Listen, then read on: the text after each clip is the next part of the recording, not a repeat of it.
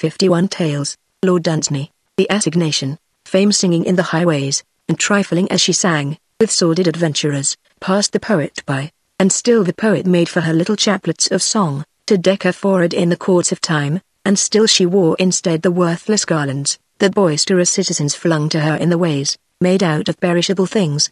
And after a while whenever these garlands died the poet came to her with his chaplets of song, and still she laughed at him and wore the worthless wreaths, though they always died at evening.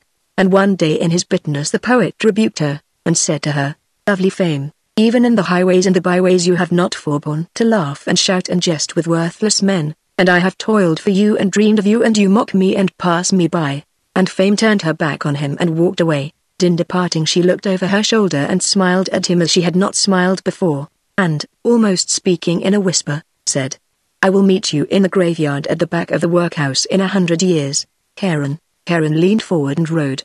All things were one with his weariness. It was not with him a matter of years or of centuries, but of wide floods of time, and an old heaviness and a pain in the arms that had become for him part of the scheme that the gods had made and was of a piece with eternity. If the gods had even sent him a contrary wind it would have divided all time in his memory into two equal slabs. So grey were all things always where he was that if any radiance lingered a moment among the dead, on the face of such a queen perhaps as Cleopatra, his eyes could not have perceived it. It was strange that the dead nowadays were coming in such numbers. They were coming in thousands where they used to come in fifties. It was neither Charon's duty nor his wont to ponder in his grey soul why these things might be. Charon leaned forward and rowed. Then no one came for a while. It was not usual for the gods to send no one down from earth for such a space. But the gods knew best. Then one man came alone. And the little shade sat shivering on a lonely bench and the great boat pushed off. Only one passenger, the gods knew best. And great and weary Charon rowed on and on beside the little, silent, shivering ghost.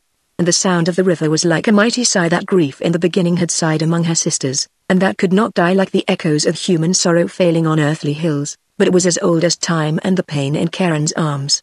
Then the boat from the slow, grey river loomed up to the coast of Dis and the little, silent shade still shivering stepped ashore, and Charon turned the boat to go wearily back to the world. Then the little shadow spoke, it had been a man. I am the last, he said. No one had ever made Charon smile before, no one before had ever made him weep. The death of Pan. When travellers from London entered Arcady they lamented one to another the death of Pan, and anon they saw him lying stiff and still. Corned Pan was still and the dew was on his fur, he had not the look of a live animal. And then they said, it is true that Pan is dead, and, standing melancholy by that huge prone body, they looked for long at memorable Pan. And evening came and a small star appeared, and presently from a hamlet of some Arcadian valley, with a sound of idle song, Arcadian maidens came. And, when they saw the, suddenly in the twilight, that old recumbent god, they stopped in their running and whispered among themselves.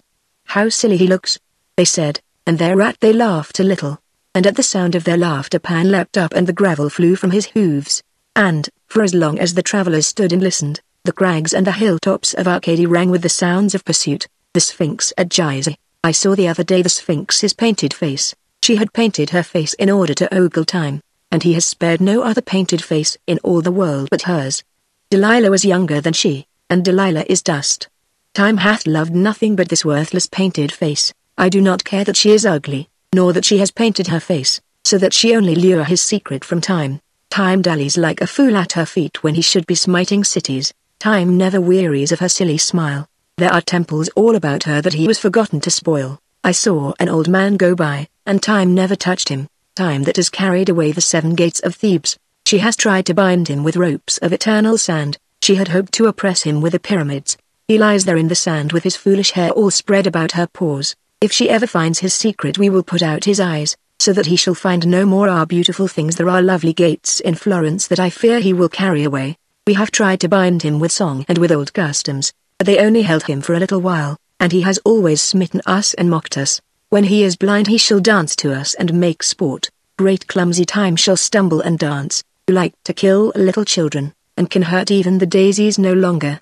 Then shall our children laugh at him who slew Babylon's winged bulls, and smote great numbers of the gods and fairies when he is shorn of his hours and his years. We will shut him up in the pyramid of Cheops, in the great chamber where the sarcophagus is. Thence we will lead him out when we give our feasts. He shall ripen our corn for us and do menial work. We will kiss thy painted face, O Sphinx. If thou wilt betray to us time, and yet I fear that in his ultimate anguish he may take hold blindly of the world and the moon, and slowly pull down upon him the house of man, the hen. All along the farmyard gables the swallows sat a row, twittering uneasily to one another, telling of many things, but thinking only of summer and the south, for autumn was afoot and the north wind waiting, and suddenly one day they were all quite gone. And everyone spoke of the swallows and the south. I think I shall go south myself next year, said a hen. And the year wore on and the swallows came again, and the year wore on and they sat again on the gables, and all the poultry discussed the departure of the hen. And very early one morning, the wind being from the north, the swallows all soared suddenly and felt the wind in their wings, and a strength came upon them and a strange old knowledge and a more than human faith, and flying high they left the smoke of our cities and small remembered eaves, and saw at last the huge and homeless sea, and steering by gracy currents went southward with the wind. And going south they went by glittering fog banks and saw old islands lifting their heads above them, they saw the slow quests of the wandering ships, and divers seeking pearls, and lands at war, till they came in view the mountains that they sought and the sight of the peaks they knew, and they descended into an austral valley, and saw summer sometimes sleeping and sometimes singing song.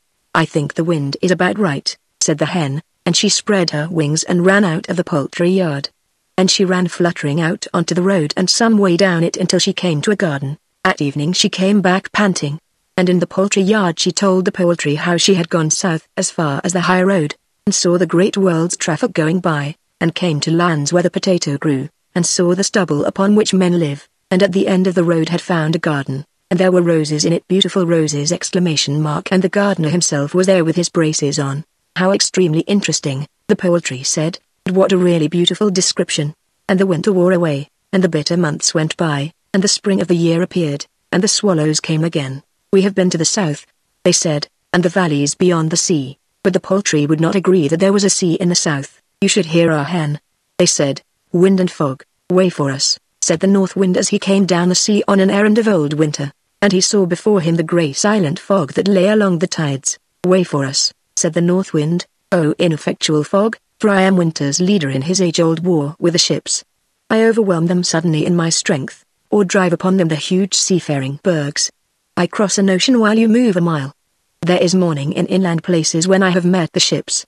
I drive them upon the rocks and feed the sea. Wherever I appear they bow to our lord the winter, and to his arrogant boasting nothing said the fog. Only he rose up slowly and trailed away from the sea and, crawling up long valleys, took refuge among the hills, and night came down and everything was still, and the fog began to mumble in the stillness. And I hear him telling infamously to himself the tale of his horrible spoils. A hundred and fifteen galleons of old Spain, a certain argosy that went from Tyre, eight fisher fleets and ninety ships of the line, twelve warships under sail, with their carronades, 387 river craft, 42 merchantmen that carried spice, 30 yachts, 21 battleships of the modern time, 9,000 admirals. He mumbled and chuckled on, till I suddenly rose and fled from his fearful contamination. The raft builders, all we who write put me in mind of sailors hastily making rafts upon doomed ships. When we break up under the heavy years and go down into eternity with all that is ours our thoughts like small lost rafts float on a while upon oblivion sea. They will not carry much over those tides, our names and a phrase or two and little else. They that write as a trade to please the whim of the day, they are like sailors that work at the rafts only to warm their hands and to distract their thoughts from their certain doom. Their rafts go all to pieces before the ship breaks up. See now oblivion shimmering all around us, its very tranquility deadlier than tempest. How little all our keels have troubled it. Time in its deeps swims like a monstrous whale, and, like a whale, feeds on the littlest things small tunes and little unskilled songs of the olden, golden evenings and anon turneth whale like to overthrow whole ships. See now the wreckage of Babylon floating idly, and something that, once was Nineveh. Already their kings and queens are in the deeps among the weedy masses of old centuries that hide the sodden bulk of sunken Tyre and make a darkness round Persepolis. For the rest I dimly see the forms of foundered ships on the seafloor strewn with crowns. Our ships were all unseaworthy from the first. There goes the raft that Homer made for Helen. The workman. I saw a workman fall with his scaffolding right from the summit of some vast hotel. And as he came down I saw him holding a knife and trying to cut his name on the scaffolding. He had time to try and do this for he must have had nearly 300 feet to fall. And I could think of nothing but his folly in doing this futile thing, for not only would the man be unrecognizably dead in three seconds, but the very pole on which he tried to scratch whatever of his name he had time for was certain to be burnt in a few weeks for firewood. Then I went home for I had work to do. And all that evening I thought of the man's folly, till the thought hindered me from serious work. And late that night while I was still at work, the ghost of the workman floated through my wall and stood before me laughing. I heard no sound until after I spoke to it, but I could see the grey diaphanous form standing before me shuddering with laughter. I spoke at last and asked what it was laughing at, and then the ghost spoke. It said, I'm a laughing at you sitting and working there, and why, I asked, do you laugh at serious work? Why, yeah bloomin' life I'll go by like a wind, he said, and yeah a silly civilization I'll be tidied up in a few centuries. Then he fell to laughing again and this time audibly, and, laughing still, faded back through the wall again and into the eternity from which he had come. The guest, a young man came into an ornate restaurant at 8 o'clock in London. He was alone. Two places had been laid at the table which was reserved for him. He had chosen the dinner very carefully, by letter a week before. A waiter asked him about the other guest. You probably won't see him till the coffee comes, the young man told him, so he was served alone. Those at adjacent tables might have noticed the young man continually addressing the empty chair and carrying on a monologue with it throughout his elaborate dinner. I think you knew my father, he said to it over the soup. I sent for you this evening, he continued, because I want you to do me a good turn. In fact I must insist on it. There was nothing eccentric about the man except for this habit of addressing an empty chair. Certainly he was eating as good a dinner as any sane man could wish for. After the burgundy had been served he became more voluble in his monologue. Not that he spoiled his wine by drinking excessively. We have several acquaintances in common, he said. I met King Seti a year ago in Thebes. I think he has altered very little since you knew him. I thought his forehead a little low for a king's. Cheops has left the house that he built for your reception. He must have prepared for you for years and years. I suppose you have seldom been entertained like that? I ordered this dinner over a week ago. I thought then that a lady might have come with me, but as she wouldn't I've asked you. She may not after all be as lovely as Helen of Troy. Was Helen very lovely? Not when you knew her, perhaps. You were lucky in Cleopatra, you must have known her when she was in her prime. You never knew the mermaids nor the fairies nor the lovely goddesses of long ago, that's where we have the best of you. He was silent when the waiters came to his table, but rambled merrily on as soon as they left, still turned to the empty chair. You know I saw you here in London only the other day. You were on a motor bus going down Ludgate Hill. It was going much too fast. London is a good place. But I shall be glad enough to leave it. It was in London that I met the lady I that was speaking about. If it hadn't been for London I probably shouldn't have met her, and if it hadn't been for London she probably wouldn't have had so much besides me to amuse her. It cuts both ways. He paused once to order coffee, gazing earnestly at the waiter and putting a sovereign in his hand. Don't let it be chicory, said he. The waiter brought the coffee, and the young man dropped a tabloid of some sort into his cup. I don't suppose you come here very often, he went on. Well, you probably want to be going. I haven't taken you much out of your way, there is plenty for you to do in London. Then having drunk his coffee, he fell on the floor by a foot of the empty chair, and a doctor who was dining in the room bent over him and announced to the anxious manager the visible presence of the young man's guest, Death and Odysseus. In the Olympian courts love laughed at Death, because he was unsightly, and because she couldn't help it, and because he never did anything worth doing, and because she would, and Death hated being laughed at, and used to brood apart thinking only of his wrongs and of what he could do to end this intolerable treatment. But one day Death appeared in the courts with an air and they all noticed it. What are you up to now? said Love. And Death with some solemnity said to her, I am going to frighten Odysseus, and drawing about him his grey traveller's cloak went out through the windy door with his jowl turned earthwards. And he came soon to Ithaca in the hall that Athene knew, and opened the door and saw the famous Odysseus, with his white locks bending close over the fire, trying to warm his hands. And the wind through the open door blew bitterly on Odysseus, and death came up behind him, and suddenly shouted, and Odysseus went on warming his pale hands. Then death came close and began to mouth at him. And after a while Odysseus turned and spoke. And well, old servant, he said, have your masters been kind to you since I made you work for me round Ilion? And death for some while stood mute, for the thought of the laughter of love. Then come now, said Odysseus, lend me your shoulder, and he leaning heavily on that bony joint, they went together through the open door. Death and the Orange, two dark young men in a foreign southern land sat at a restaurant table with one woman, and on the woman's plate was a small orange which had an evil laughter in its heart, and both of the men would be looking at the woman all the time, and they ate little and they drank much. and the woman was smiling equally at each. Then the small orange that had the laughter in its heart rolled slowly off the plate onto the floor. And the dark young men both sought for it at once, and they met suddenly beneath the table, and soon they were speaking swift words to one another, and a horror and an impotence came over the reason of each as she sat helpless at the back of the mind, and the heart of the orange laughed and the woman went on smiling, and death, who was sitting at another table, tete-a-tete with an old man, rose and came over to listen to the quarrel. The prayer of the flowers, it was the voice of the flowers on the west wind, the lovable, the old, lazy west wind, blowing ceaselessly, blowing sleepily, going greasewards. The woods have gone away. They have fallen and left us, men love us no longer, we are lonely by moonlight. Great engines rush over the beautiful fields, their ways lie hard and terrible up and down the land. The cantankerous cities spread over the grass, they clatter in their lairs continually, they glitter about us blemishing the night. The woods are gone, O Pan, the woods, the woods. And thou art far, O Pan, and far away. I was standing by night between two railway embankments on the edge of a midland city. On one of them I saw the trains go by, once in every two minutes, and on the other, the trains went by twice in every five. Quite close were the glaring factories, and the sky above them wore the fearful look that it wears in dreams of fever. The flowers were right in the stride of that advancing city, and thence I heard them sending up their cry.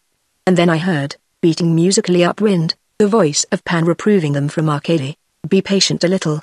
These things are not for long. Time and the tradesman. Once time as he prowled the world, his hair grey not with weakness but with dust of the ruin of cities, came to a furniture shop and entered the antique department.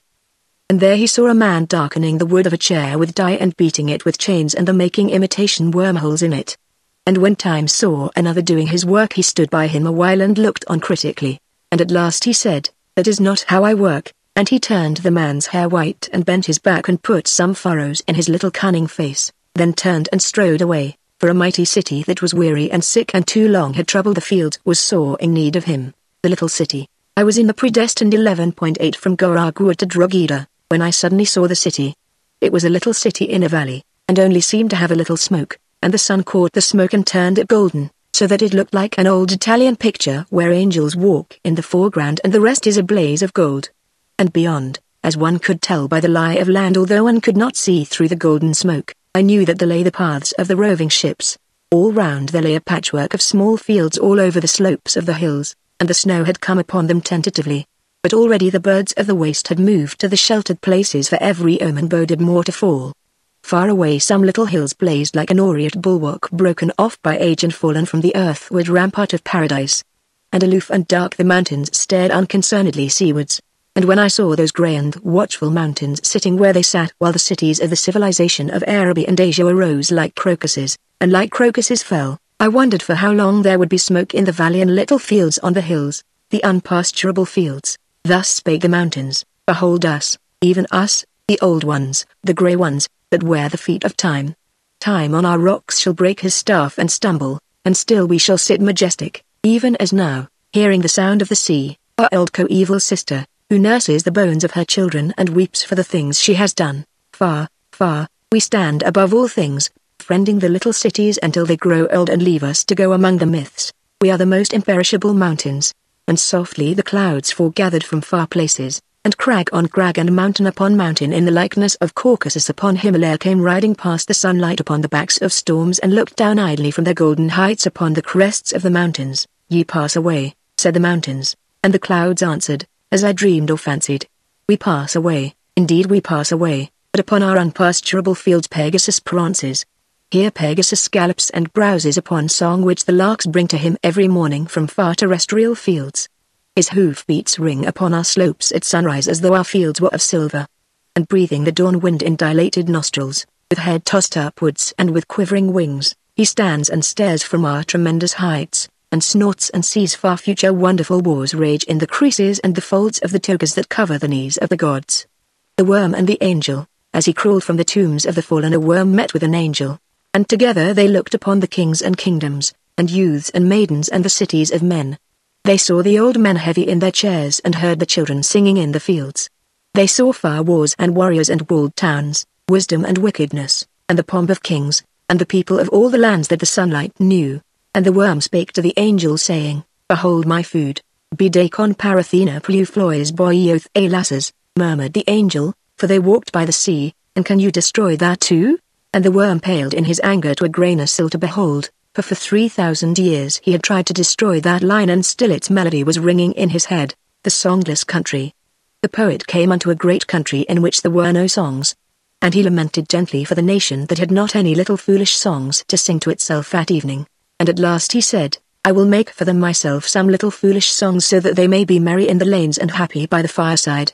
And for some days he made for them aimless songs such as maidens sing on the hills in the older happier countries. Then he went to some of that nation as they sat weary with the work of the day and said to them, I have made you some aimless songs out of the small unreasonable legends, that are somewhat akin to the wind in the vales of my childhood, and you may care to sing them in your disconsolate evenings. And they said to him, If you think we have time for that sort of nonsense nowadays you cannot know much of the progress of modern commerce. And the poet wept for he said, Alas! They are damned.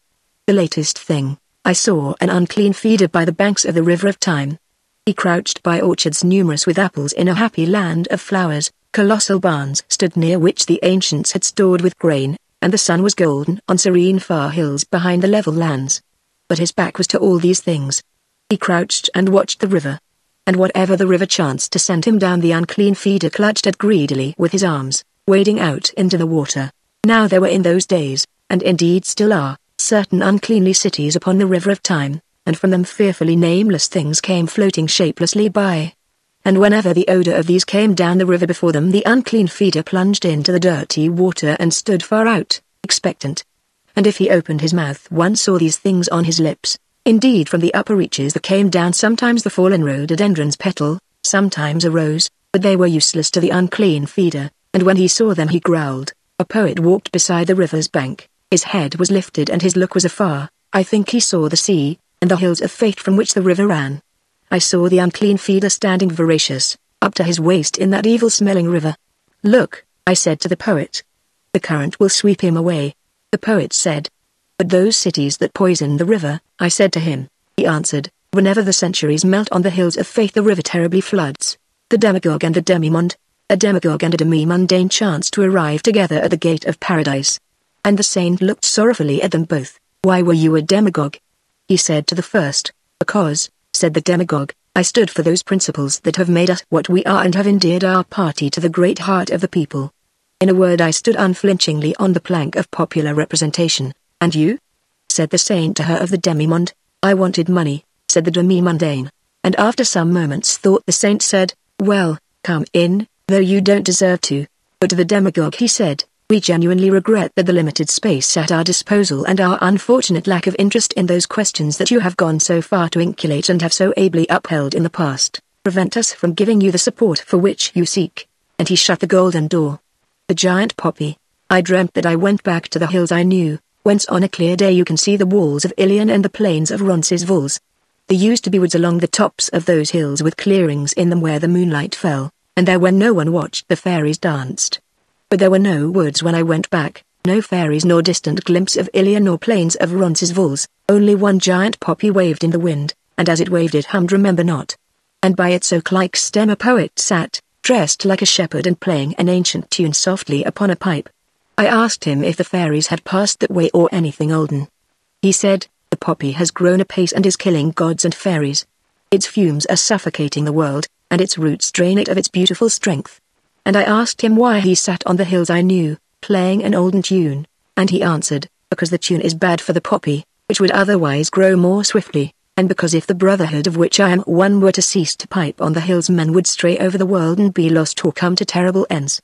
We think we have saved Agamemnon. Then he fell to piping again that olden tune, while the wind among the poppies' sleepy petals murmured remember not. Remember not, roses, I know a roadside where the wild rose blooms with a strange abundance, there is a beauty in the blossoms too of an almost exotic kind, a taint of deeper pink that shocks the Puritan flowers.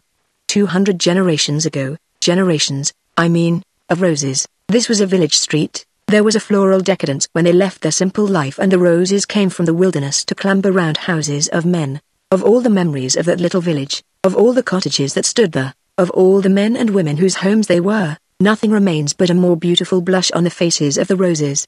I hope that when London is clean passed away and the defeated fields come back again, like an exiled people returning after a war, they may find some beautiful thing to remind them of it all. because we have loved a little that swart old city, the man with the golden earrings. It may be that I dreamed this.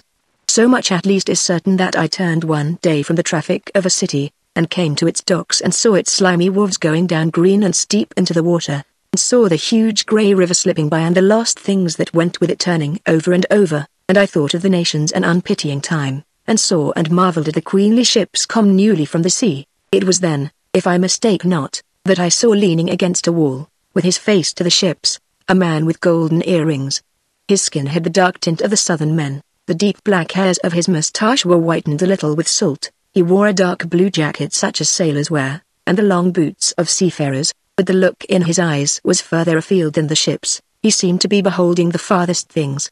Even when I spoke to him he did not call home that look, answered me dreamily with that same fixed stare as though his thoughts were heaving on far and lonely seas. I asked him what ship he had come by, for there were many there.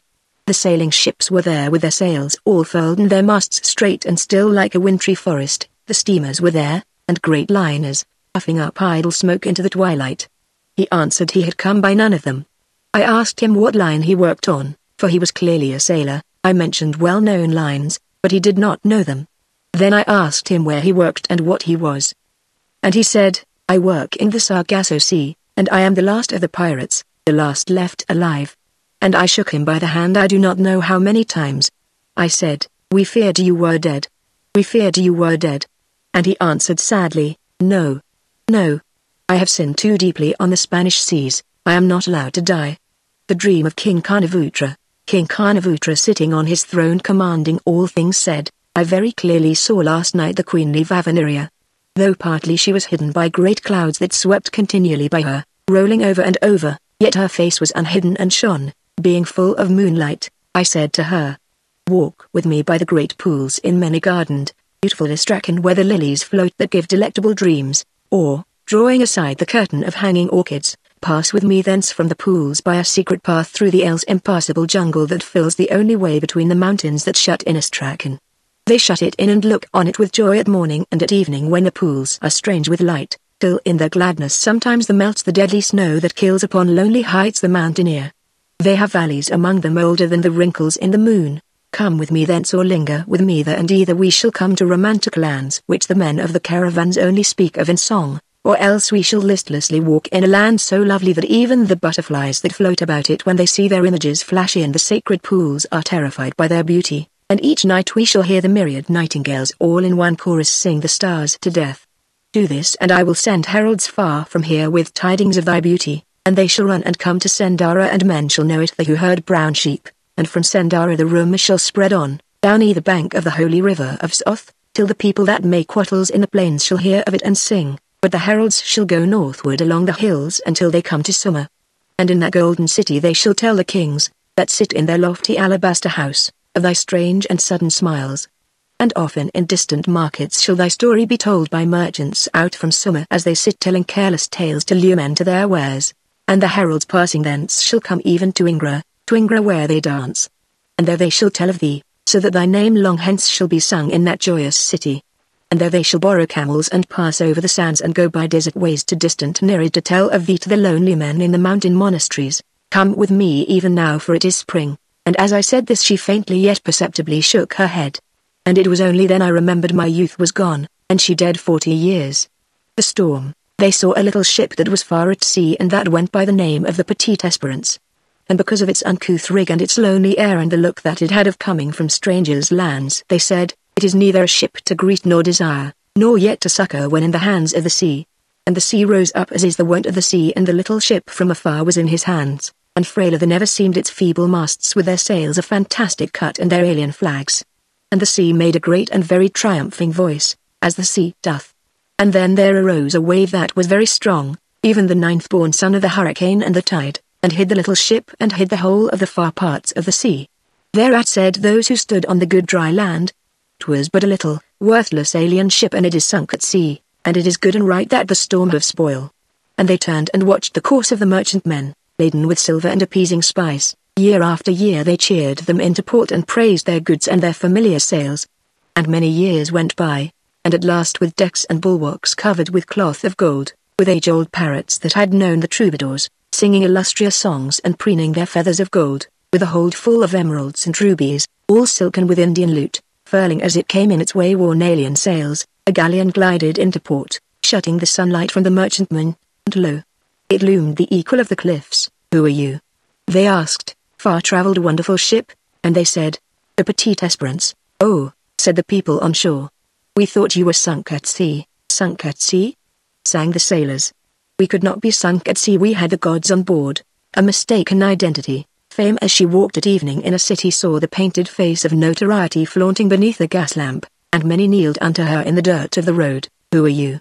Fame said to her, I am Fame, said Notoriety. Then Fame stole softly away so that no one knew she had gone. And Notoriety presently went forth and all her worshippers rose and followed after, and she led them, as was most meet, to her native pit. The true history of the hare and the tortoise. For a long time there was doubt with acrimony among the beasts as to whether the hare or the tortoise could run the swifter. Some said the hare was the swifter of the two because he had such long ears, and others said the tortoise was the swifter because anyone whose shell was so hard as that should be able to run hard too. And lo, the forces of estrangement and disorder perpetually postponed a decisive contest. But when there was nearly war among the beasts, at last an arrangement was come to and it was decided that the hare and the tortoise should run a race of 500 yards so that all should see who was right. Ridiculous nonsense. Said the hare, and it was all his backers could do to get him to run. The contest is most welcome to me, said the tortoise, I shall not shirk it. Oh, how his backers cheered. Feeling ran high on the day of the race, the goose rushed at the fox and nearly pecked him. Both sides spoke loudly of the approaching victory up to the very moment of the race, I'm absolutely confident of success, said the tortoise. But the hare said nothing, he looked bored and cross. Some of his supporters deserted him then and went to the other side, who were loudly cheering the tortoise's inspiriting words. But many remained with the hare. We shall not be disappointed in him, they said. A beast with such long ears is bound to win. Run hard, said the supporters of the tortoise, and run hard became a kind of catchphrase which everybody repeated to one another. Hard shell and hard living, that's what the country wants. Run hard, they said. And these words were never uttered but multitudes cheered from their hearts. Then they were off, and suddenly there was a hush. The hare dashed off for about a hundred yards, then he looked round to see where his rival was. It is rather absurd, he said, to race with a tortoise. And he sat down and scratched himself. Run hard. Run hard. Shouted some, let him rest, shouted others. And let him rest became a catchphrase too and after a while his rival drew near to him. There comes the damned tortoise, said the hare, and he got up and ran as hard as could be so that he should not let the tortoise beat him. Those ears will win, said his friends. Those ears will win, and establish upon an incontestable footing the truth of what we have said. And some of them turned to the backers of the tortoise and said, What about your beast now? Run hard, they replied. Run hard. The hare ran on for nearly 300 yards, nearly in fact as far as the winning post, and it suddenly struck him what a fool he looked running races with a tortoise who was nowhere in sight, and he sat down again and scratched. Run hard. Run hard, said the crowd, and let him rest. Whatever is the use of it? said the hare, and this time he stopped for good. Some say he slept. There was desperate excitement for an hour or two, and then the tortoise won. Run hard. Run hard, shouted his backers. Hard shell and hard living, that's what has done it.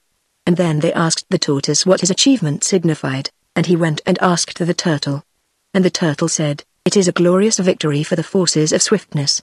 And then the tortoise repeated it to his friends. And all the beasts said nothing else for years. And even to this day, a glorious victory for the forces of swiftness is a catchphrase in the house of the snail. And the reason that this version of the race is not widely known is that very few of those that witnessed it survived the great forest fire that happened shortly after. It came up over the weald by night with a great wind, the hare and the tortoise and a very few of the beasts saw it far off from a high bare hill that was at the edge of the trees. They hurriedly called a meeting to decide what messenger they should send to warn the beasts in the forest. They sent the tortoise, alone the immortals. I heard it said that very far away from here, on the wrong side of the deserts of Cathay and in a country dedicated to winter, are all the years that are dead. And there a certain valley shuts them in and hides them, as rumor has it, from the world, but not from the sight of the moon nor from those that dream in his rays. And I said, I will go from here by ways of dream and I will come to that valley and enter in and mourn there for the good years that are dead. And I said, I will take a wreath, a wreath of mourning, and lay it at their feet in token of my sorrow for their dooms.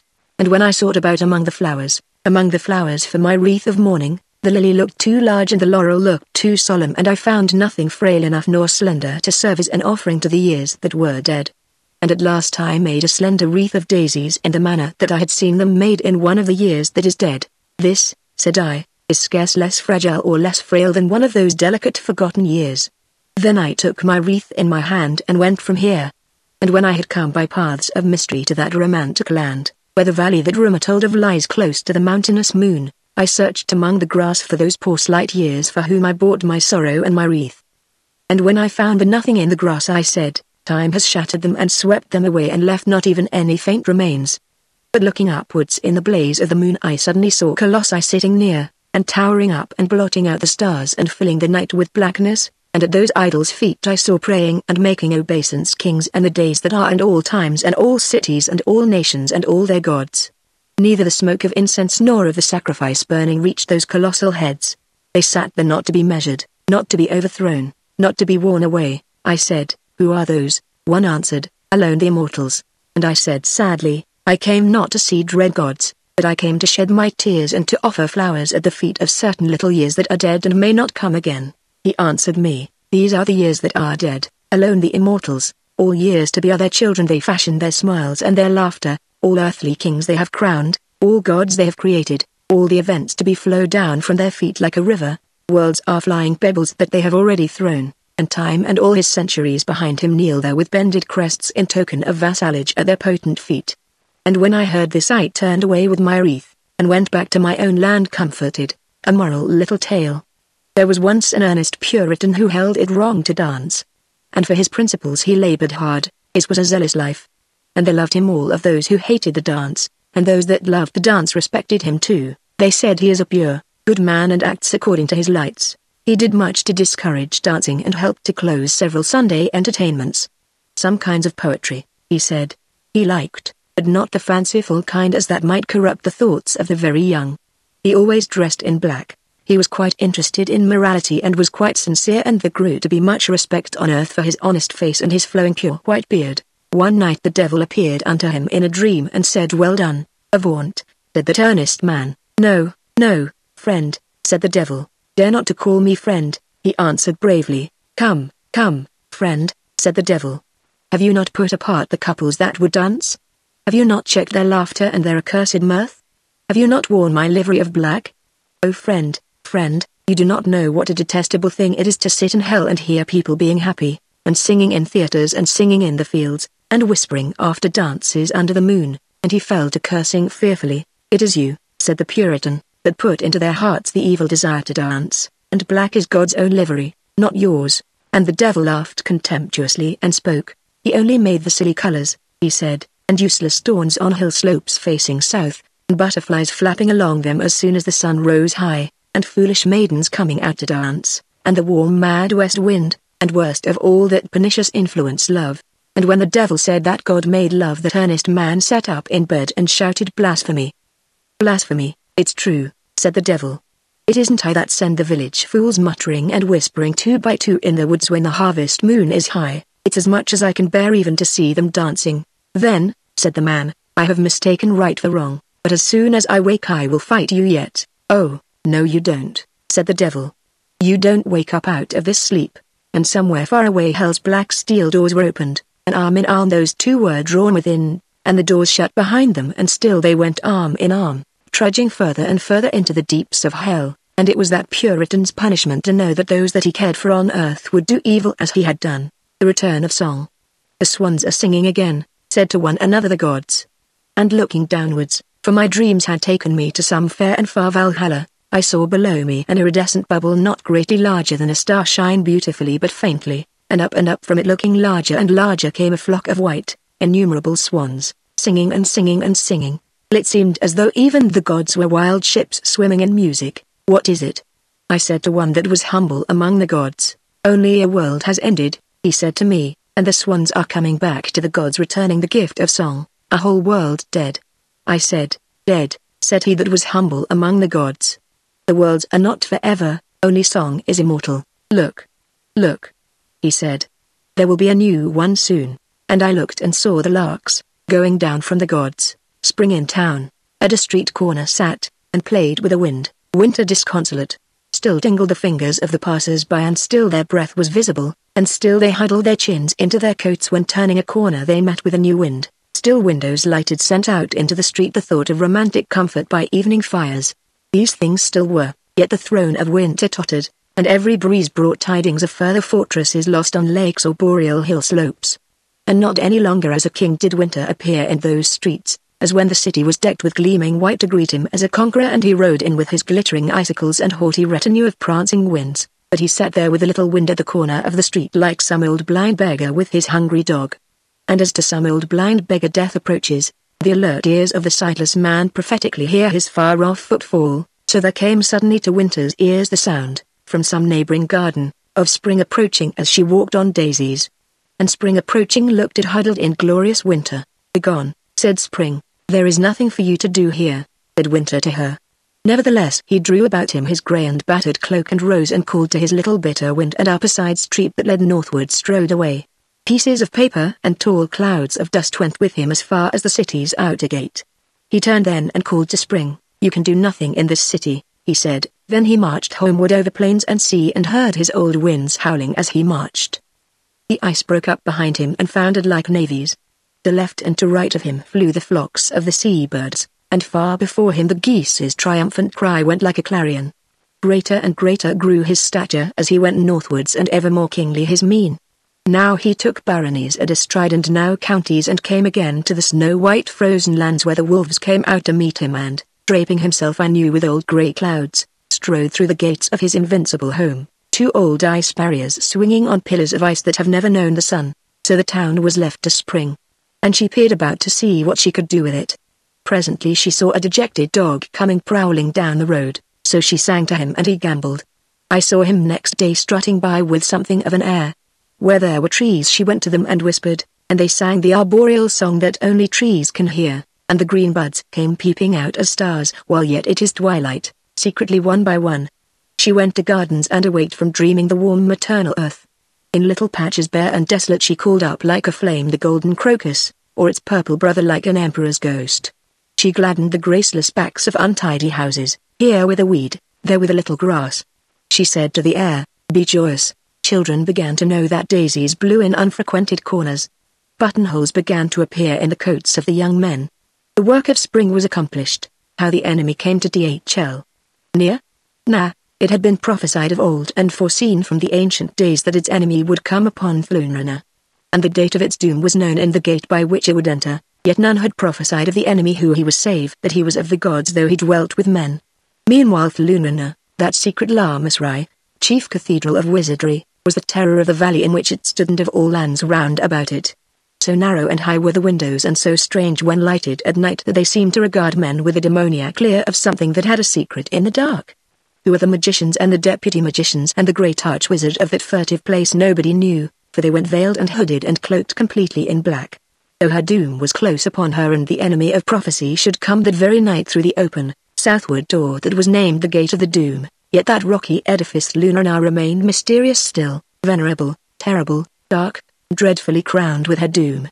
It was not often that anyone dared wander near to Thlunrana by night when the moan of the magicians invoking we know not whom rose faintly from inner chambers, scaring the drifting bats, but on the last night of all the man from the black thatched cottage by the five pine trees came, because he would see Thlunrana once again before the enemy that was divine, but that dwelt with men, should come against it and it should be no more. Up the dark valley he went like a bold man, but his fears were thick upon him, his bravery bore their weight but stooped a little beneath them. He went in at the southward gate that is named the Gate of the Doom. He came into a dark hall, and up a marble stairway past to see the last of Thlunrana. At the top a curtain of black velvet hung and he passed into a chamber heavily hung with curtains, with a gloom in it that was blacker than anything they could account for. In a somber chamber beyond, seen through a vacant archway, magicians with lighted tapers plied their wizardry and whispered incantations. All the rats in the place were passing away, going whimpering down the stairway. The man from the black thatched cottage passed through that second chamber, the magicians did not look at him and did not cease to whisper. He passed from them through heavy curtains still of black velvet and came into a chamber of black marble where nothing stirred. Only one taper burned in the third chamber. There were no windows. On the smooth floor and under the smooth wall a silk pavilion stood with its curtains drawn close together, This was the holy of holies of that ominous place, its inner mystery. One on each side of it dark figures crouched, either of men or women or cloaked stone, or of beasts trained to be silent. When the awful stillness of the mystery was more than he could bear the man from the black thatched cottage by the five pine trees went up to the silk pavilion, and with a bold and nervous clutch of the hand drew one of the curtains aside, and saw the inner mystery, and laughed. And the prophecy was fulfilled, and Thlunrana was never more a terror to the valley. But the magicians passed away from their terrific halls and fled through the open fields wailing and beating their breasts, for laughter was the enemy that was doomed to come against Thlunrana through her southward gate, that was named the Gate of the Doom, and it is of the gods but dwells with man, a losing game. Once in a tavern man met face to skull with death. Man entered gaily but death gave no greeting, he sat with his jowl morosely over an ominous wine. Come, come, said man, we have been antagonists long, and if I were losing yet I should not be surly. But Death remained unfriendly watching his bowl of wine and gave no word in answer. Then man solicitously moved nearer to him and, speaking cheerily still, Come, come, he said again, must not resent defeat. And still Death was gloomy and cross and sipped at his infamous wine and would not look up at man and would not be companionable. But man hated gloom either in beast or god, and it made him unhappy to see his adversary's discomfort, all the more because he was the cause, and still he tried to cheer him. Have you not slain the Dinotherium? he said. Have you not put out the moon? Why? You will beat me yet. And with a dry and barking sound Death wept and nothing said, and presently man arose and went wandering away, for he knew not if Death wept out of pity for his opponent, or because he knew that he should not have such sport again when the old game was over and man was gone, or whether because perhaps, for some hidden reason, he could never repeat on earth his triumph over the moon, taking up Piccadilly. Going down Piccadilly one day and nearing Grosvenor Place I saw, if my memory is not at fault, some workmen with their coats off or so they seemed.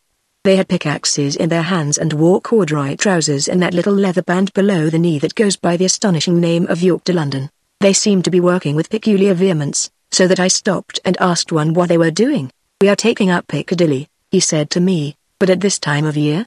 I said. Is it usual in June? We are not what we seem, said he. Oh, I see, I said, you are doing it for a joke. Well, not exactly that, he answered me. For a bet? I said, not precisely, said he.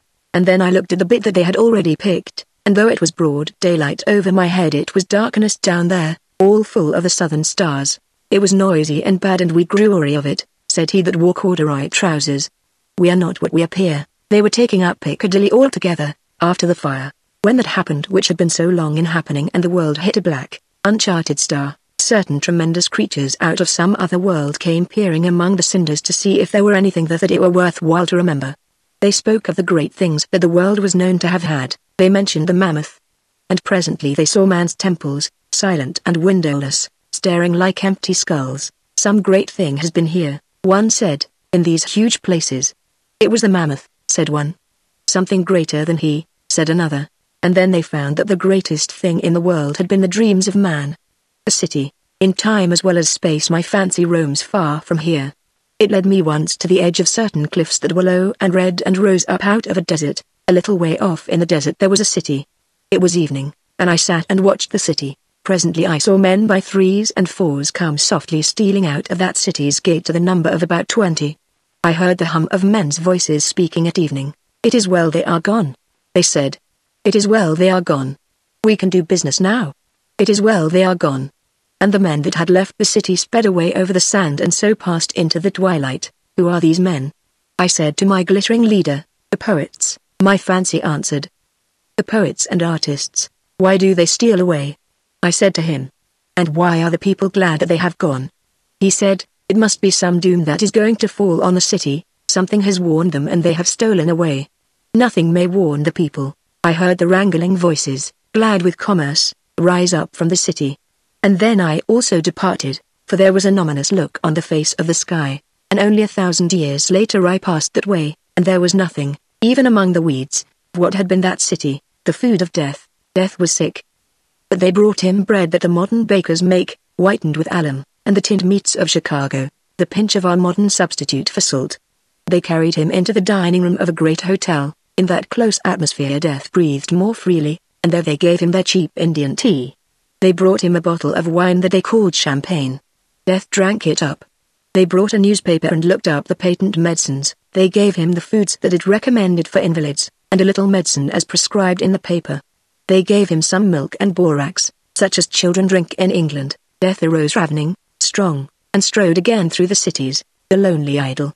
I had from a friend an old outlandish stone, a little swine-faced idol to whom no one prayed, and when I saw his melancholy case as he sat cross-legged at receipt of prayer, holding a little scourge that the years had broken, and no one heeded the scourge and no one prayed and no one came with squealing sacrifice, and he had been a god, then I took pity on the little forgotten thing and prayed to it as perhaps they prayed long since, for the coming of the strange dark ships, and humbled myself and said, O idol, idol of the hard pale stone, invincible to the years, O scourge holder, give ear for behold I pray, O little pale green image whose wanderings are from far, know thou that here in Europe and in other lands nearby, too soon there pass from us the sweets and song and the lion strength of youth, too soon do their cheeks fade, their hair grow grey and our beloved die, too brittle is beauty, too far off is fame and the years are gathered too soon, there are leaves, leaves falling, everywhere falling, there is autumn among men, autumn and reaping, failure there is, struggle, dying and weeping, and all that is beautiful hath not remained but is even as the glory of morning upon the water, even our memories are gathered too with the sound of the ancient voices, the pleasant ancient voices that come to our ears no more, the very gardens of our childhood fade, the dims with the speed of the years even the mind's own eye, oh be not any more the friend of time, for the silent hurry of his malevolent feet have trodden down what's fairest, I almost hear the whimper of the years running behind him hound-like, and it takes few to tear us, all that is beautiful he crushes down as a big man tramples deises, all that is fairest. How very fair are the little children of men. It is autumn with all the world, and the stars weep to see it. Therefore no longer be the friend of time, will not let us be, and be not good to him but pity us, and let lovely things live on for the sake of our tears. Thus prayed I out of compassion one windy day to the snout-faced idol to whom no one kneeled. The Sphinx in Thebes, Massachusetts. There was a woman in a steel-built city who had all that money could buy, she had gold and dividends and trains and houses, and she had pets to play with, but she had no Sphinx, so she besought them to bring her a live Sphinx, and therefore they went to the menageries, and then to the forests and the desert places, and yet could find no sphinx. And she would have been content with a little lion but that one was already owned by a woman she knew, so they had to search the world again for a sphinx. And still there was none. But they were not men that it is easy to baffle, and at last they found a sphinx in a desert at evening watching a ruined temple whose gods she had eaten hundreds of years ago when her hunger was on her. And they cast chains on her, who was still with an ominous stillness, and took her westwards with them and brought her home. And so the Sphinx came to the steel-built city. And the woman was very glad that she owned a Sphinx. But the Sphinx stared long into her eyes one day, and softly asked a riddle of the woman. And the woman could not answer, and she died. And the Sphinx is silent again and none knows what she will do. The reward, one's spirit goes further in dreams than it does by day. Wandering once by night from a factory city I came to the edge of hell. The place was foul with cinders and cast-off things, and jagged, half-buried things with shapeless edges, and there was a huge angel with a hammer building in plaster and steel. I wondered what he did in that dreadful place. I hesitated, then asked him what he was building. We are adding to hell, he said, to keep pace with the times. Don't be too hard on them, I said, for I had just come out of a compromising age and a weakening country. The angel did not answer. It won't be as bad as the old hell, will it? I said. Worse, said the angel. How can you reconcile it with your conscience as a minister of grace? I said to inflict such a punishment. They talked like this in the city whence I had come and I could not avoid the habit of it. They have invented a new cheap yeast, said the angel. I looked at the legend on the walls of the hell that the angel was building. The words were written in flame, every 15 seconds they change their color, yeasto, oh, the great new yeast, it builds up body and brain, and something more, they shall look at it forever, the angel said, but they drove a perfectly legitimate trade, I said, the law allowed it, the angel went on hammering into place the huge steel uprights. You are very revengeful, I said. Do you never rest from doing this terrible work? I rested one Christmas day. The angel said, and looked and saw little children dying of cancer. I shall go on now until the fires are lit. It is very hard to prove, I said, that the yeast is as bad as you think. After all, I said, they must live. And the angel made no answer but went on building his hell. The trouble in Leafy Green Street. She went to the idol shop in Mushill Street, where the old man mumbles, and said, I want a god to worship when it is wet. The old man reminded her of the heavy penalties that rightly attached to idolatry and, when he had enumerated all, she answered him as was meet, Give me a god to worship when it is wet. And he went to the back places of his shop and sought out and brought her a god. The same was carved of grey stone and wore a propitious look and was named, as the old man mumbled, the god of rainy cheerfulness.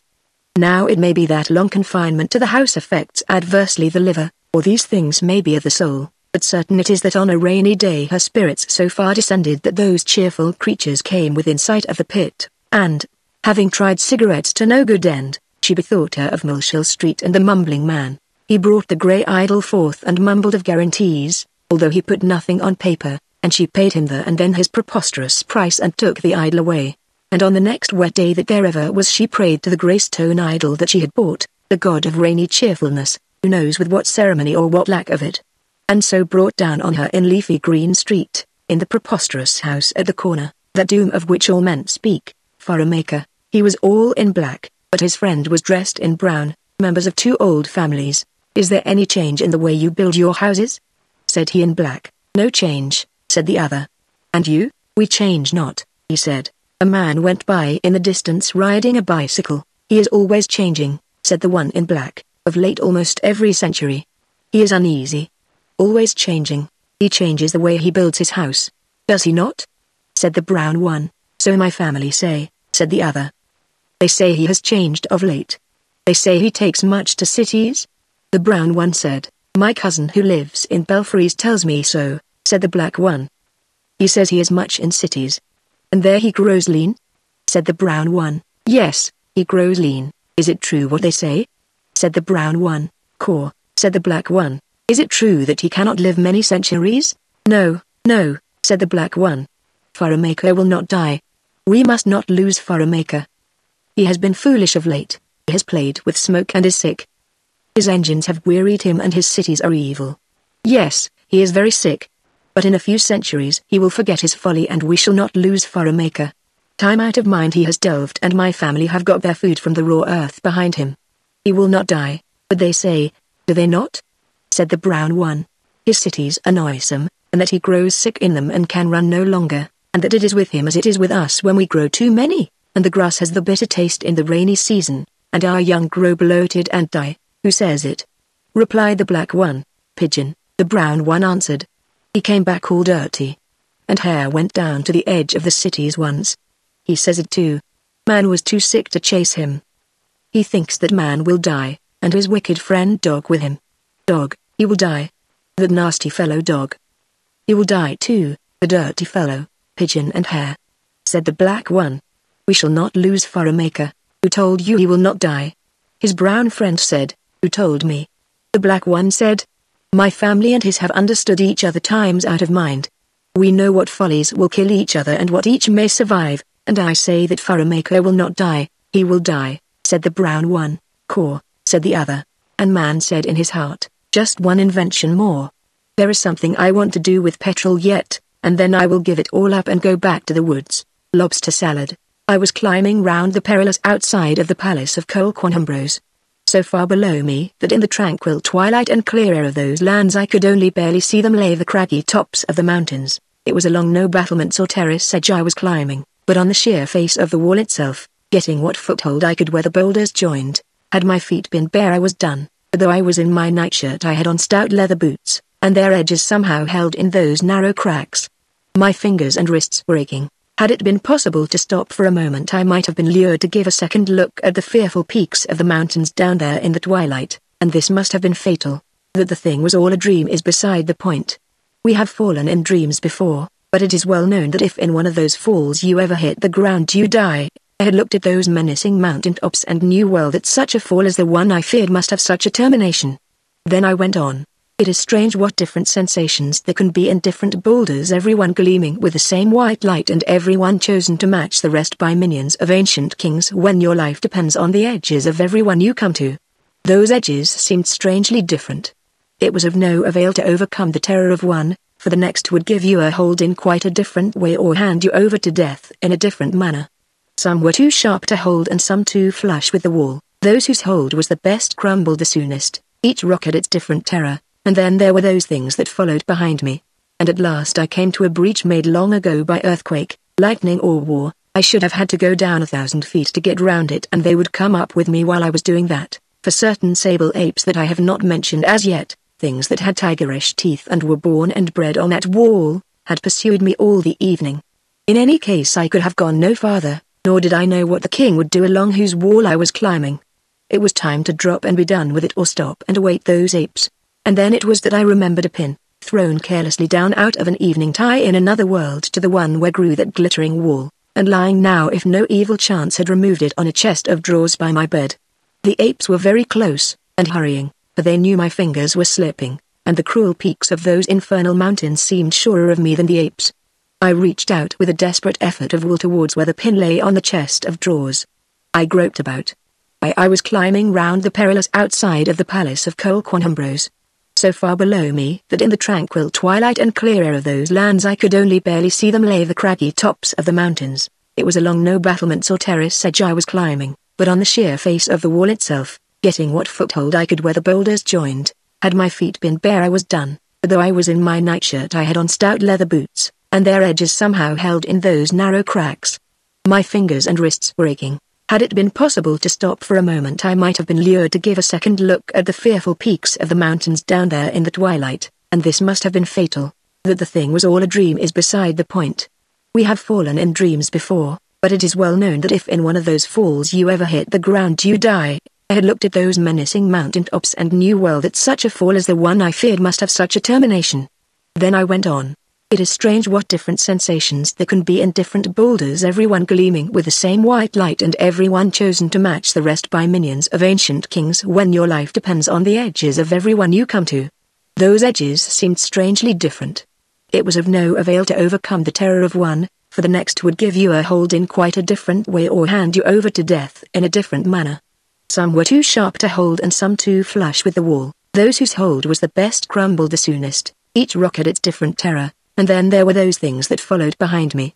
And at last I came to a breach made long ago by earthquake, lightning or war. I should have had to go down a thousand feet to get round it and they would come up with me while I was doing that, for certain sable apes that I have not mentioned as yet, things that had tigerish teeth and were born and bred on that wall, had pursued me all the evening. In any case I could have gone no farther, nor did I know what the king would do along whose wall I was climbing. It was time to drop and be done with it or stop and await those apes. And then it was that I remembered a pin, thrown carelessly down out of an evening tie in another world to the one where grew that glittering wall, and lying now if no evil chance had removed it on a chest of drawers by my bed. The apes were very close, and hurrying, for they knew my fingers were slipping, and the cruel peaks of those infernal mountains seemed surer of me than the apes. I reached out with a desperate effort of will towards where the pin lay on the chest of drawers. I groped about. I found it. I ran it into my arm. Saved. Found it. I ran it into my arm. Saved. The return of the exiles. The old man with a hammer and the one-eyed man with a spear were seated by the roadside talking as I came up the hill. It isn't as though they hadn't asked us, the one with the hammer said. There ain't no more than twenty as knows about it, said the other. Twenty's twenty, said the first. After all these years, said the one-eyed man with the spear. After all these years. We might go back just once, oh course we might, said the other. Their clothes were old even for laborers, the one with the hammer had a leather apron full of holes and blackened, and their hands looked like leather. But whatever they were they were English, and this was pleasant to see after all the motors that had passed me that day with their burden of mixed and doubtful nationalities. When they saw me the one with the hammer touched his greasy cap. Might we make so bold, sir, he said, as they asked the way to Stonehenge? We never ought to go, mumbled the other plaintively. There's not more than twenty as knows, but, I was bicycling the myself to see the place so I pointed out the way and rode on at once, but there was something so utterly servile about them both that I did not care for their company. They seemed by their wretched mean to have been persecuted or utterly neglected for many years. I thought that very likely they had done long terms of penal servitude. When I came to Stonehenge I saw a group of about a score of men standing among the stones. They asked me with some solemnity if I was expecting anyone, and when I said no they spoke to me no more. It was three miles back where I left those strange old men. I had not been in the stone circle long when they appeared, coming with great strides along the road. When they saw them all the people took off their hats and acted very strangely, and I saw that they had a goat which they led up then to the old altar stone. and the two old men came up with their hammer and spear and began apologizing plaintively for the liberty they had taken in coming back to that place, and all the people knelt on the grass before them. And then still kneeling they killed the goat by the altar, and when the two old men saw this they came up with many excuses and eagerly sniffed the blood. And at first this made them happy. But soon the one with the spear began to whimper. It used to be men, he lamented. It used to be men. And the twenty men began looking uneasily at each other, and the plaint of the one-eyed man went on in that tearful voice, and all of a sudden they all looked at me. I do not know who the two old men were or what any of them were doing, but there are moments when it is clearly time to go, and I left them there and then. And just as I got up onto my bicycle I heard the plaintive voice of the one with the hammer apologizing for the liberty he had taken in coming back to Stonehenge. But after all these years, I heard him crying, after all these years. And the one with the spear said, yes, after 3,000 years, nature and time. Through the streets of Coventry one winter's night strode a triumphant spirit. Behind him stooping, unkempt, utterly ragged, wearing the clothes and look that outcasts have, whining, weeping, reproaching, an ill-used spirit tried to keep pace with him. Continually she plucked him by the sleeve and cried out to him as she panted after and he strode resolute on. It was a bitter night, yet it did not seem to be the cold that she feared, all-clad though she was, but the trams and the ugly shops and the glare of the factories, from which she continually winced as she hobbled on, and the pavement hurt her feet. He that strode on in front seemed to care for nothing, it might be hot or cold, silent or noisy, pavement or open fields, he merely had the air of striding on, and she caught up and clutched him by the elbow. I heard her speak in her unhappy voice, you scarcely heard it for the noise of the traffic, you have forgotten me, she complained to him. You have forsaken me here.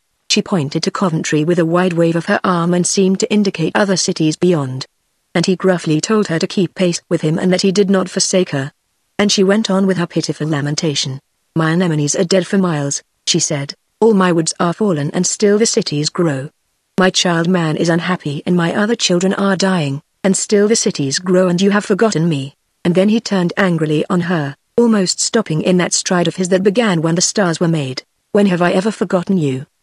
He said, or when forsaken you ever? Did I not throw down Babylon for you? And is not Nineveh gone? Where is Persepolis that troubled you? Where Tarshish and Tyre? And you have said I forget you, and at this she seemed to take a little comfort. I heard her speak once more, looking wistfully at her companion. When will the fields come back and the grass for my children? Soon, soon, he said, and they were silent. And he strode away, she limping along behind him, and all the clocks in the towers chimed as he passed, the song of the blackbird. As the poet passed the thorn tree the blackbird sang, How ever do you do it? The poet said, for he knew bird language. It was like this, said the blackbird. It really was the most extraordinary thing. I made that song last spring, it came to me all of a sudden. There was the most beautiful she-blackbird that the world has ever seen. Her eyes were blacker than lakes are at night, her feathers were blacker than the night itself, and nothing was as yellow as her beak, she could fly much faster than the lightning. She was not an ordinary she-blackbird, there has never been any other like her at all. I did not dare go near her because she was so wonderful. One day last spring when it got warm again it had been cold, we ate berries, things were quite different then, but spring came and it got warm one day I was thinking how wonderful she was and it seemed so extraordinary to think that I should ever have seen her, the only really wonderful she-blackbird in the world, that I opened my beak to give a shout, then this song came. And there had never been anything like it before and luckily I remembered it. The very song that I sang just now.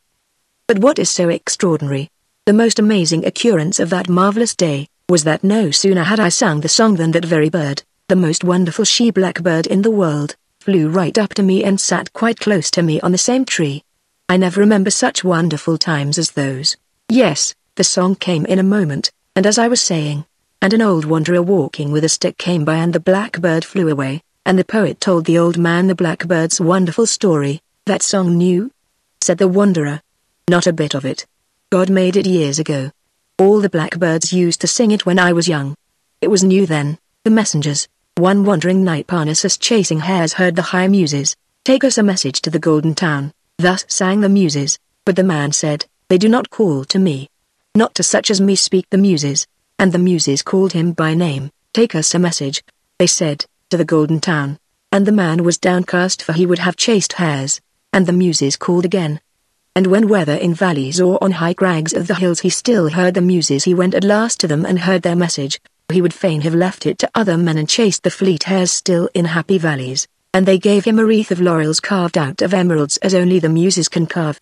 By this, they said, they shall know that you come from the muses. And the man went from that place and dressed in scarlet silks as befitted one that came from the high muses. And through the gateway of the golden town he ran and cried his message, and his cloak floated behind him. All silent sat the wise men and the aged, they of the golden town, cross-legged they sat before their houses reading from parchments a message of the muses that they sent long before. And the young man cried his message from the muses, and they rose up and said, Thou art not from the muses. Otherwise spake they. And they stoned him and he died. And afterwards they carved his message upon gold, and read it in their temples on holy days. When will the muses rest? When are they weary? They sent another messenger to the golden town, and they gave him a wand of ivory to carry in his hand with all the beautiful stories of the world wondrously carved thereon. And only the muses could have carved it. By this, they said, they shall know that you come from the muses. And he came through the gateway of the golden town with the message he had for its people. And they rose up at once in the golden street, they rose from reading the message that they had carved upon gold. The last who came, they said, came with a wreath of laurels carved out of emeralds, as only the muses can carve. You are not from the muses, and even as they had stoned the last so also they stoned him. And afterwards they carved his message on gold and laid it up in their temples. When will the muses rest? When are they weary? Even yet once again they sent a messenger under the gateway into the golden town. And for all that he wore a garland of gold that the high muses gave him, a garland of kingcups soft and yellow on his head, yet fashioned of pure gold and by whom but the muses, yet did they stone him in the golden town. But they had the message, and what care the muses? And yet they will not rest. Some while since I heard them call to me, Go take our message, they said, unto the golden town, but I could not go. And they spake a second time, Go take our message, they said, and still I would not go, and they cried out a third time, Go take our message, and though they cried a third time I would not go. But morning and night they cried and through long evenings, When will the muses rest? When are they weary? And when they would not cease to call to me I went to them and I said, the golden town is the golden town no longer. They have sold their pillars for brass and their temples for money. They have made coins out of their golden doors. It has become a dark town full of trouble, there is no ease in its streets, beauty has left it and the old songs are gone. Go take our message, they cried. And I said to the higher muses, you do not understand. You have no message for the golden town, the holy city no longer, go take our message, they cried. What is your message? I said to the higher muses, and when I heard their message I made excuses, dreading to speak such things in the Golden Town, and again they bade me go, and I said, I will not go. None will believe me, and still the muses cry to me all night long, they do not understand. How should they know, the three tall sons, and at last man raised on high the final glory of his civilization, the towering edifice of the ultimate city, softly beneath him in the deeps of the earth purred his machinery fulfilling all his needs, there was no more toil for man. There he sat at ease discussing the sex problem, and sometimes painfully out of forgotten fields, there came to his outer door, came to the furthest rampart of the final glory of man, a poor old woman begging. And always they turned her away. This glory of man's achievement, this city was not for her, it was nature that came thus begging in from the fields, whom they always turned away, and away she went again alone to her fields. And one day she came again, and again they sent her hence. But her three tall sons came too, these shall go in, she said. Even these my sons to your city. And the three tall sons went in, and these are nature's sons, the forlorn ones terrible children, war, famine and plague. Yea and they went in there and found man unawares in his city still poring over his problems, obsessed with his civilization, and never hearing their tread as those three came up behind, compromise, they built their gorgeous home, their city of glory, above the lair of the earthquake. They built it of marble and gold in the shining youth of the world. There they feasted and fought and called their city immortal, and danced and sang songs to the gods. None heeded the earthquake in all those joyous streets. And down in the deeps of the earth, on the black feet of the abyss, they that would conquer man mumbled long in the darkness, mumbled and goaded the earthquake to try his strength with that city, to go forth blithely at night and to gnaw its pillars like bones. And down in those grimy deeps the earthquake answered them, and would not do their pleasure and would not stir from thence for who knew who they were who danced all day where he rumbled, What if the lords of that city that had no fear of his anger were happily even the gods? And the centuries plodded by, on and on round the world, and one day they that had danced, they that had sung in that city, remembered the lair of the earthquake in the deeps down under their feet, and made plans one with another and sought to avert the danger, sought to appease the earthquake and turn his anger away. They sent down singing girls, and priests with oats and wine. They sent down garlands and propitious berries, down by dark steps to the black depths of the earth. They sent peacocks newly slain, and boys with burning spices, and their thin white sacred cats with collars of pearls all that newly drawn from sea.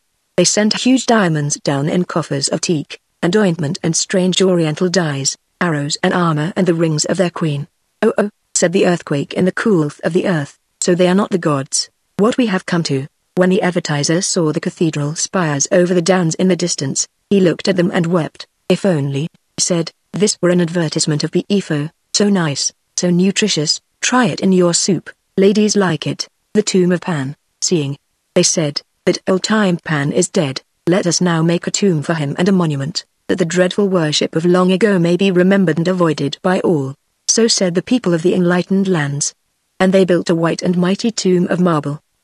Slowly it rose under the hands of the builders and longer every evening after sunset it gleamed with rays of the departed sun. And many mourned for Pan while the builders built, many reviled him.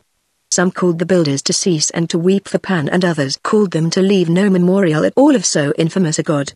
But the builders built on steadily, and one day all was finished, and the tomb stood there like a steep sea cliff and Pan was carved thereon with humbled head and the feet of angels pressed upon his neck. And when the tomb was finished the sun had already set, but the afterglow was rosy on the huge bulk of Pan, and presently all the enlightened people came, and saw the tomb and remembered Pan who was dead, and all deplored him and his wicked age. But a few wept apart because of the death of Pan. But at evening as he stole out of the forest, and slipped like a shadow softly along the hills, Pan saw the tomb and laughed. The mist, the mist said unto the mist, Let us go up into the downs. And the mist came up weeping. And the mist went into the high places and the hollows, and clumps of trees in the distance stood ghostly in the haze. But I went to a prophet, one who loved the downs, and I said to him, Why does the mist come up weeping into the downs when it goes into the high places and the hollows? And he answered, The mist is the company of a multitude of souls who never saw the downs, and now are dead. Therefore they come up weeping into the downs, who are dead and never saw them.